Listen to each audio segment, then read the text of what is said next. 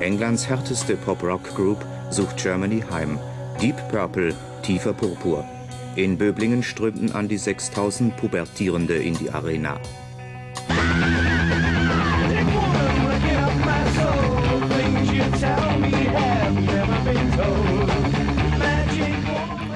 Schon Stunden vor Beginn dieses Konzertes hatten sich die 12- bis 20-jährigen Fans auf dem Boden gelagert.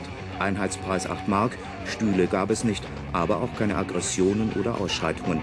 Alles war reiner Kunstgenuss. Die fünf Musiker logierten im feudalen Hotel International. Doch vor ihrem Auftritt schlüpften sie in die internationale Gammel-Hippie-Uniform, welche die Masse von ihnen erwartet mit ihren LPs und Singles haben sie Millionenumsätze erreicht.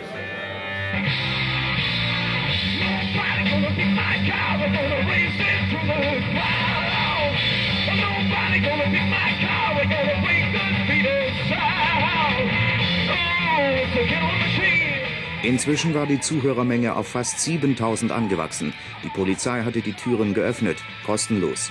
Höhepunkt der Seligkeit, das Licht verlöscht, in dem purpurnen Schein entlädt sich die höllische Ekstase, bis der letzte Schrei in der Nacht verhallt.